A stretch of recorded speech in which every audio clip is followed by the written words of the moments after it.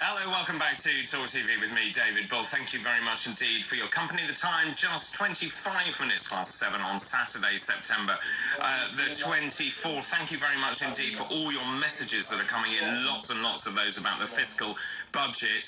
Uh, David, uh, lots of lots of them about something else, uh, like this one, for example. Jackie, good morning, Jackie. Uh, David, uh, looking so smart this morning. Your shirt is fabulous. So thank you very much indeed, Jackie, for that. That's made my morning. Good morning, David says. Chris.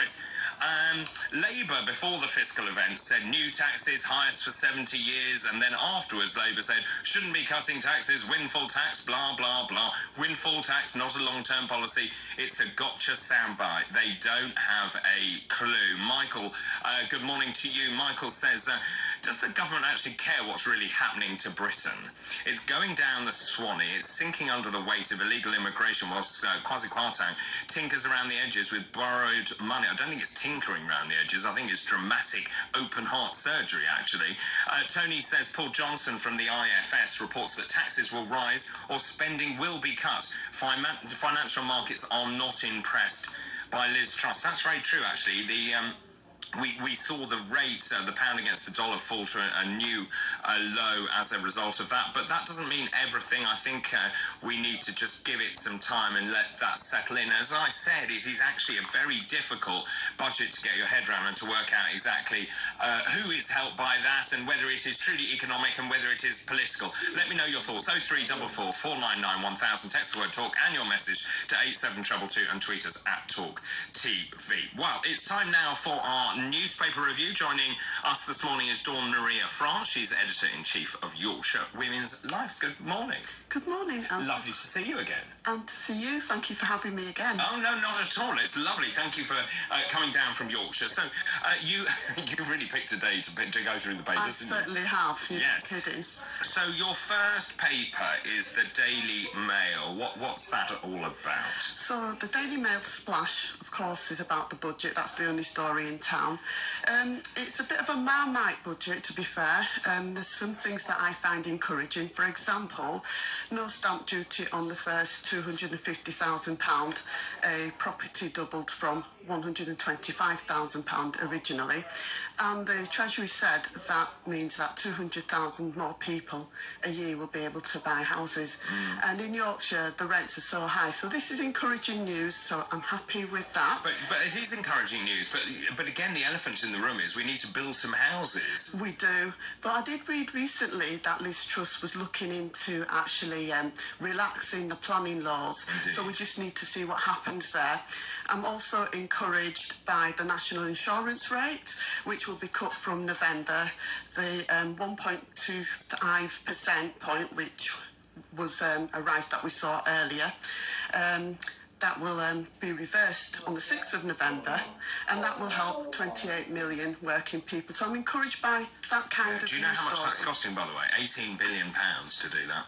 I mean, it's a heck of a lot of money. I mean, in, I mean, it, you know, where, however you look at this, it really is extraordinary. 26 billion pounds of tax cuts and 18 billion of tax rises cancelled. That comes to 45 billion pounds. That is a lot of money. Well, if you think that this has actually been done um, in order to generate 2.5% growth, a growth level that we haven't seen since, you know, God was a boy, um, you know, one would hope that this kind of fiscal investment of our money because let's not be, you know, churlish about this. There is no government money. This is taxpayers' money. So one has to hope that that rather large growth forecast will be hit because of this. Yeah. And if it is, then we'll be laughing. Well, that's right. Sorry, sorry. Do carry on though. No, um, it's a huge gamble that. Um, Do you think it's a gamble? I think it's a gamble between um, Liz Truss and Kwasi Kwarteng.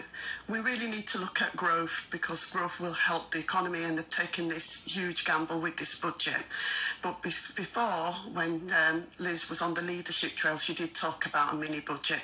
But it's for her to win or lose the next election because it's a lot of borrowing. It won't sit well with um, Tory supporters. So we need to see this work. But I'll tell you what I was interested in as well, Yeah. um, which came out of the um, budget, was the universal credit rules. And they're changing on low incomes. So from next year, more than 100,000 people that are claiming universal credit, they'll be asked to take active steps. I don't know what active steps mean, actually. That might be some kind of code. Um, so they've been asked to either increase their hours at work or find better paid jobs or have their benefit reduced. So is this the return to the nasty party? And how do you prove that? Do you need to then go into the job centre and prove that you've applied for these jobs, but you assume- didn't get it? I would assume you would have to have documented evidence as to what you've actually done. I mean, it's a really good point. Um, and and is it? And what, what's your view on that? I think that um, it needs to be more stick and less carrot. You, you need to encourage people to actually look for work, but by threatening them in this way, Mm. I mean, the Department of Work and Pension doesn't always have the best best reputation. It's always in the news. well, yeah, I'm being very diplomatic. You are, you are. I think what this is set to overcome, and I think it is a problem, is I know plenty of people who work at minimum wage, and that's probably the first problem, for 16 hours a week. And they will not work a second over 16 hours because at 16 hours they get council tax rebates, they get rent paid, they get prescriptions, all sorts of things. And they don't fall into the tax bracket because they're on minimum wage. So they don't pay any tax, but they are taking out lots of benefits. But for them, they can't move outside of that because they're earning so little because of low mm. wages that they then lose the benefits that are mm. helping them survive. Well, that's ridiculous. So, yes, but we need to look at these bottom jobs and say to employers, you need to pay more. Yeah. It needs to not be you and I and, you know, paying tax. We need to look at employers and say, look, to pay more. Mm.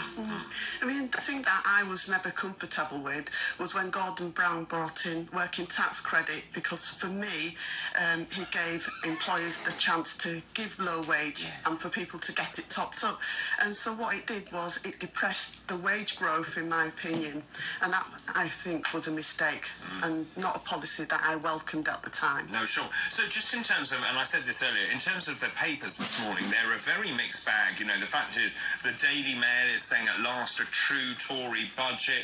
Uh, the i saying the pound pound has plummeted after Kwarteng bets the UK economy on tax cuts. It's almost as though we're reading very different stories, isn't it? The way it's portrayed in different national newspapers. Well, this is true. I mean, the the, um, the Guardian have said that it's a, a budget for the rich, and then when you look at the Chancellor, he's announced more than 400 billion of extra borrowing over the next couple of years. So it does look, it, like I said, it is a bit of a marmite budget, really. There is some good news there, but there's also a long way that he could have gone as well. And, and tell me, so so under the previous government, it was all about levelling up. How will this budget be perceived in Yorkshire? Do you think? I think um, the good news with the stamp duty, because the rents in Yorkshire Yeah. are quite high, um, a lot of people, most of their wage is paying the rents for their property. So that would be good with the stamp duty. It'll encourage more people to look at perhaps buying a house. Um, and as I said, I'm encouraged by the national insurance as well, because if you've got more money um, coming into your household, then you're going to spend more into the economy. So I'm, I'm happy with that as well. And what about pensioners? I think that pensioners have been forgotten as They well because um, they're on a fixed income. I've not seen any kind of support mechanism there, and I'm sad by that Mm. because they've paid into the system all their lives and they should have been actually built into this budget. So the conversations that I've had with people in Yorkshire is that the the pensioners seem to be forgotten in the mini budget and they've, they've lost an opportunity to do something there. Well, certainly on Talk TV yesterday, I heard so many calls and messages from pensioners saying uh, they they literally can't afford to live. They had something like one pound fifty uh, to to spend on food for the rest of the week. I mean, we can't live in a country where that that happens. And also, we, we, we seem to have this view of pensioners that they have loads of money, they're sitting in big houses, and actually they, they are just sort of a drain on society. Society is here because of pensioners, Yeah, because they've worked, they've paid tax, Yeah. they've had children, Yeah, and they've forwarded society. Yeah, but here's the other problem. A lot of pensioners are in houses they shouldn't really be in, but they can't afford to move because it's too expensive to move, and they and they're trapped and they're not being given enough help either. They are trapped, but I also I also worry about that, David, because I worry about these calls that say, oh, well, all those pensioners in three bedroom houses. I don't want to usurp a granny in a three bedroom No, I house. don't. If that's where she lived with her husband for 60 years and it's got I all of her memories. So I I, don't with think you. we should be talking like that. I agree. I, I don't like the argument where you pit young people against Yeah. the older. I'm not really comfortable with that. You've got to realise that not all pensioners so are let me rich. just ask you though, and I did ask this um, question earlier. How much of this is about the, the bold e- economics of this, saying actually we're going to take a gamble, this is going to get us out of this mess, and how much of this is political, talking to the Tories? I think a lot of it, it might be 50 50 of actually we're going to get out of this mess and then trying to play to um, the audience really because they've got to try and win the Tories over. But with the borrowing, I don't think that would actually sit well with a lot of Tories. They need to get, God, agree. they need to push for growth. That's what they need to do. And as I said earlier, it's for Liz to win or lose the next election. This has to work. This gamble has to work. You're not kidding. She's saying she, that's probably her mantra as she goes to sleep. This has to work. This has to work. Um, so let's move now to the Daily Telegraph. This is a really stunning front page, actually. Oh, I really like this. Um, although it's bittersweet because obviously we've just come out of mourning for our beloved Queen. So this is the first official photograph of the King, and it shows him attending to his red boxes in his new office in Buckingham Palace. Um, and it's an image that presents him as the working monarch. Um, and also, the photograph of the King was issued by Buckingham Palace, and it was two uh, it was two weeks and two days after we lost our great queen, and it follows in a tradition of having these images.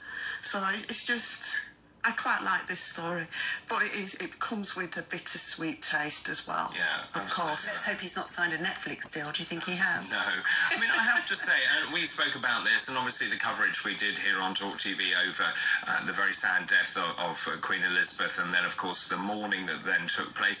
I think King Charles III has done a tremendous job. Yes. The the the, um, the the pomp and pageantry and ceremony was incredible, but also the way the crown has transferred seamlessly to him. He's been in waiting for this, hasn't he, for a very long time? And actually, it's pictures like that I think that tell a great story. This is about the continuity of the monarchy. Yes. He is doing exactly what his mother did. This is about duty. She did her red boxes every single day apart from Christmas Day. She did. Yeah. That's absolutely No, true. I absolutely agree with you, and I think he handled it really, really well. I think he did things that put people at ease. People were nervous about King Charles III, Mm. and I think the way that he handled himself and connected with people over the last two weeks put people at ease, which is a good thing. All we need to make sure now is that he doesn't bend Liz Truss's ear about the climate forever. But, he, and but everything he's been very clear, saying, I will step back from that, hasn't he? He said, I am now the monarch. I can't be the Prince of Wales. The Prince of Wales, however, can Yeah. be the Prince of Wales. He can, though, because he does have a private audience with the Prime Minister Well, he of the does. week, which we never know what No. gets discussed. Very, very true. true. Okay, let's move on to the Daily Express now. Uh, this is on page eight, isn't it? Yeah, this one um, is about job hunt aids for the over 50s. And even if people don't agree that age discrimination does or doesn't exist, I believe it does exist. No, I do. Yeah. So, um, so this is to give um, people that are over 50s additional support. So when they go to um, the job centres, they'll be seen by job coaches and be encouraged and supported into work. But I'll tell you what I didn't know. I didn't know that um, that 18% of people aged 50 to 70 were left without jobs Yeah. during the pandemic. Yeah. That was a surprise to me. I mean, it's very difficult, I think, if you've lost your job as a 50 year old. And you're trying to go back into the workforce. There are a lot of issues at play, not least your own psychology, how you feel about that, your own self worth. Must be very difficult. Yeah, I said this at the beginning of the pandemic that the people that were going to suffer here were the children and then the older people. Because if you lose your job over 50, not only are you up against a much younger cohort when it comes to getting a job, but you're more expensive generally because you have a standard of living, you have a mortgage to pay, you have rent to pay, you know, you have a certain certain amount that you need to earn. You also have maybe not the same transferable skills that younger people have for today's modern jobs. So it's a big problem, and discrimination does exist for all of those reasons. And also, you know, people think that an older person isn't going to work so long, is going to be slower, isn't going to be as, you know, up to date. And we have to overcome those, not just by training the 50 year olds, but by training the employers. Well, well, I agree with that. And when I ran a company, a, a, a relatively big company, we found that with the older members of staff, those over 50, they provided very different skills. Yeah. They were very good at critical thinking, helping younger people not be rash, making those rash uh, judgments that they do. Also, they've been around the block, haven't they? So they can say, I've seen this before. It might not be a good idea. they have much to offer. Yeah, I agree, totally. Right, let's move on to the Times now, page six. So page six um, is about a hundred-year-old former steelworker, my part of the world. She's from Sheffield, and so she worked in the steelworks in the Second World War, and she's been awarded an honorary degree in engineering by Sheffield University. so um, this has been awarded to Job Kathleen. week. Yeah, this has been awarded to Kathleen Roberts, who at 16 she was called to work in the steelworks, like so many women at the time, while the men went off um, to fight. Mm. So for her to get her honorary degree at 100 years old, Yeah, it's a- amazing. we need a good news story fantastic. in all in all the chaos that we're living in. Because not not forgetting that what followed then is that when all the men came back from war, all the women lost their jobs or had to give up their jobs when they got married. Yeah. Yeah, it was a different time, was it not? I mean, it does show how the world's moved on, though. Can you imagine? No, I I'd never get married. That's also very true. And then you've got one more, have you? You've got the Sun. Yes, um, so this is um, sad news for Kent and Sussex.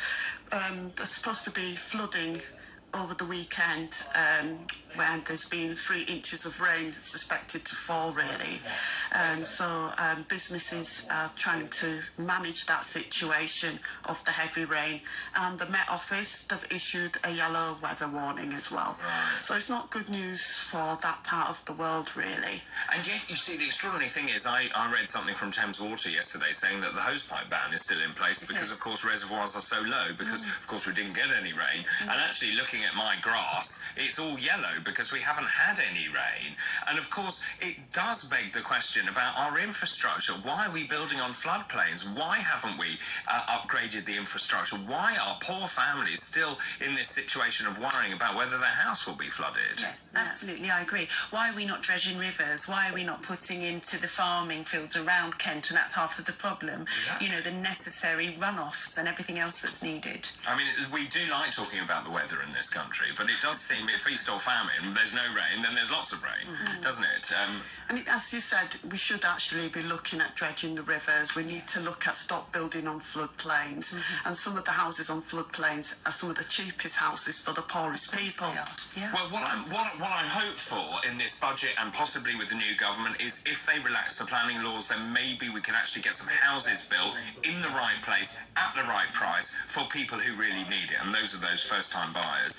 And stop building in the wrong places on floodplains where all we will ever get is problems. And we also need to look at essential workers who cannot actually live in the centre of, of London and have to live on the outskirts. And we need those essential workers to have affordable homes. And indeed, in cities in Yorkshire, for example, you know, across the United Kingdom, um, houses are expensive and we need to provide for essential key workers. we do definitely. Yeah, thank you very much indeed for coming in, Dawn Maria France, editor in chief of Yorkshire Women's Life. Right, after the break, it's time for our sporting roundup with Mr. Tom Clayton. This is Talk uh, TV. We're broadcasting live from the Talk Radio studio.